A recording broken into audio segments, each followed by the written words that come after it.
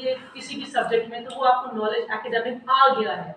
अब बाकी तमाम चीज़ें स्किल सेट पे चली गई जिसमें ज़्यादातर चीज़ें सॉफ्ट हैं। हम समझते हैं कि सॉफ्ट स्किल्स फ्लफ हैं। Not needed not really important जिसके अंदर हमारी कम्युनिकेशन स्किल्स हमारी पर्सनैलिटी ग्रूमिंग हमारा मुस्कुराना, हमारा प्लेजेंट या एक enthusiastic demeanor and disposition ये फ्लफ है। बस मैं अपने इस सब्जेक्ट में परफेक्ट हूँ तो मैं चाहे आखड़ हूँ चाहे गंदा मुंदा हूँ कोई मसला नहीं। नो अभी चीज़ें फ्लफ नहीं है।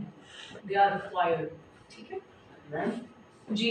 अगर यही सवाल गवर्नमेंट सेक्टर में पूछा जाता है कि आपको ये जी कौन सा सवाल?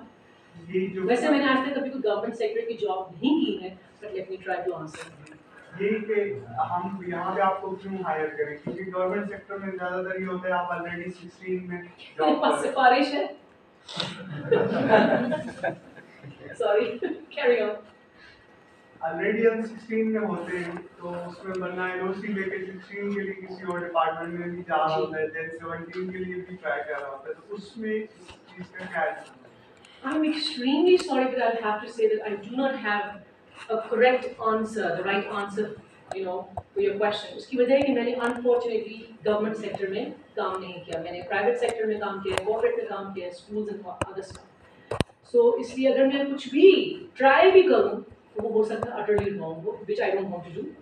ठीक है सो so, हम ये कर सकते हैं कि हम किसी गवर्नमेंट सेक्टर के कुछ लोगों को बुलवा के और उसमें ये सेशन रखवाया जा सकता है। अगर आप गवर्नमेंट सेक्टर में अप्लाई कर रहे हैं। So what are the dos and don'ts I am already government employ तो बता दें किस बात का वेट कर रहे हैं आप? Thank you after the session my apologies sir I am really sorry that tell me something that's not on your CV और रिज्यूमे क्या बताएँगे आप?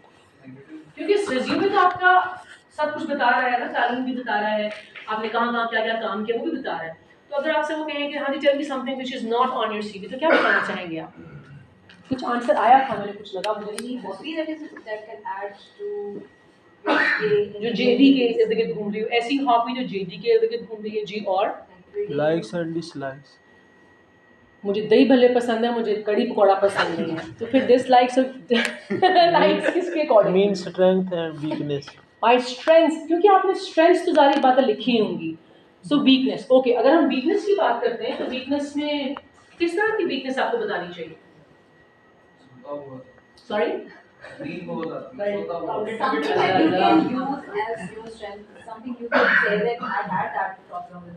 लेकिन आप मैंने फिक्स कर लिया।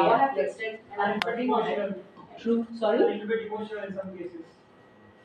ये into Weakness. हाँ हाँ वीकनेस तो याद रखिए कोई भी ऐसी वीकनेस मत बताइए जो नेचर का हिस्सा है because nature can not change अपनी कोई वीकनेस जब आप अपना होमवर्क घर में तैयार कर रहे हैं इस क्वेश्चन का आंसर तो नेचर की वीकनेस मत बताइए।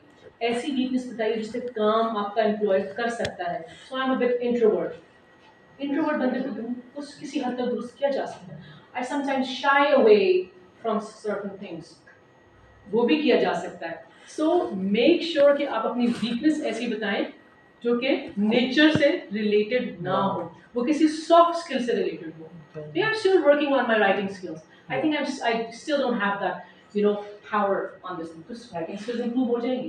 I am still working on my presentation skills I still want to be there you know like ABC तो ये भी इंप्रूव किया जा सकता है। I am a rigid person I am emotional ये नेचर का हिस्सा है नेचर चेंज नहीं होती। आई एम सॉरी जिन्होंने कहा कि I get emotional that is a wrong answer आपको ये नहीं कहना बिकॉज़ आपकी अगर नेचर नेचर आपकी इमोशनल है, वो चेंज नहीं होगी सो नेचर से रिलेटेड कोई भी वीकनेस आपने नहीं बतानी है and we are going to always मैंने वैसे काफ़ी ज़्यादा चीज़ें कवर कर ही नहीं थी बट ये भी हमने कवर कर लिया है। The key is to be fully fully Prepared. prepared don't take it not seriously take it very seriously किसी भी चीज़ के लिए prepare अगर आपको लगता है कि आपने इसको मास्टर किया है, ये तो मैंने बात दस दफ़ा लोगों के सामने कही है अगर आपने ग्यारहवीं दफ़ा कहनी है तो घर में इसको तीन दफ़ा मुँह से लाउडली निकाल लें ठीक है If you're applying for a job, you have to be honest about yourself and your background. Let the interviewer know your strong points, but be truthful when they ask about your weak points.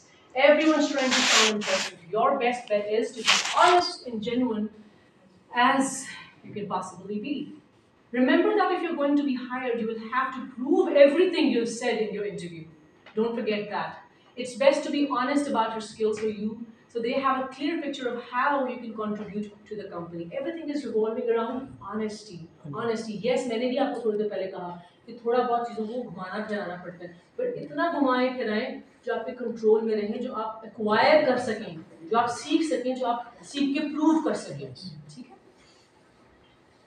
Being turned down doesn't dictate your worth as an employee. अगर आप किसी interview से reject हो गए हैं demotivate मत अपने आप को और इम्प्रूव करें इसका मतलब है यू नीड इम्प्रूवमेंट देखें आपको कहाँ गलती हुई ठीक है सो यू शुड जज yourself assess turn this into a learning opportunity and do better in the future.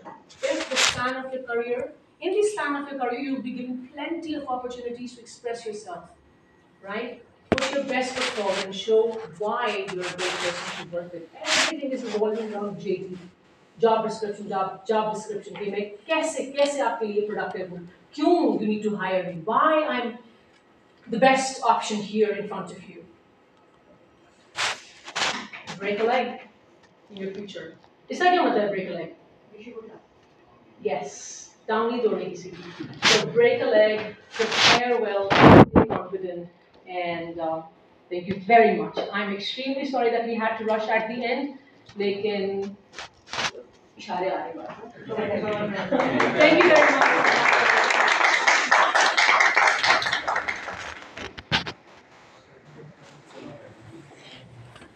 Females by now. रानी जी बड़ी बढ़ रही है बढ़ रही है। सुनने रही है।